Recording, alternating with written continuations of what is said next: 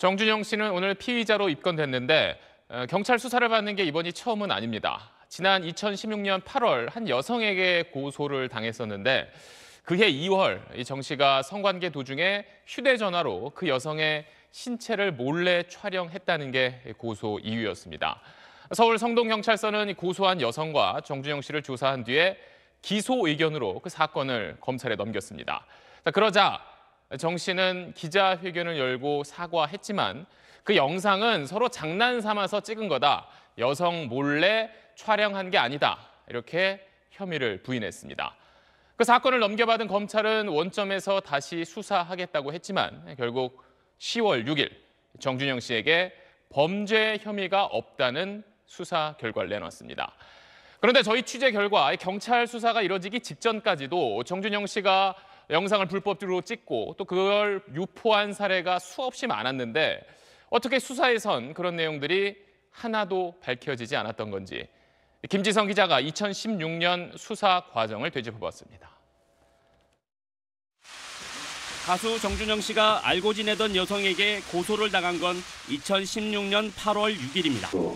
휴대전화로 성관계 영상을 몰래 촬영했다는 게 고소장에 나오는 정 씨의 혐의입니다. 경찰은 피해 여성 조사를 마친 뒤 정준영 씨를 불러 조사하면서 처음으로 휴대전화 제출을 요구합니다. 이때가 8월 20일 고소장이 접수된 지 2주일 뒤였습니다. 수사기관 입장에서는 범행 도구부터 확보를 해야 하는 거 아닙니까? 강제적으로 먼저 압수를 한다든지 빨리 제출하라고 하든지 이런 식으로 해서 제출하라고 하면 미리 하라고 하면은 분실했다 뭐했다 그렇게 되면 할 수가 없잖아요. 조사 받으면서 받으면서 제출하라고 그렇게 얘기를 하고 얘기를 하지만 이때 경찰은 정 씨의 휴대전화를 확보하지 못했습니다. 정 씨 측이 처음에는 분실했다고 했다가 나중에는 휴대전화를 찾았지만 고장이 났으니 자체적으로 복구한 뒤 제출하겠다고 했다는 겁니다. 그 다음 사용하던 핸드폰은 찾았다니면 어딨냐 숙소에 있냐 물어보고 그 다음에 그 가방에 있냐니까는 변호사가 그때서야 업체에 의뢰했다. 정씨 측은 끝내 휴대전화가 망가져 복구할 수 없다는 의견서를 제출했고 경찰은 복구하는데 시간이 오래 걸릴 것 같아 복구 전에 검찰의 기소 의견으로 송치했다는 것이 경찰의 설명입니다.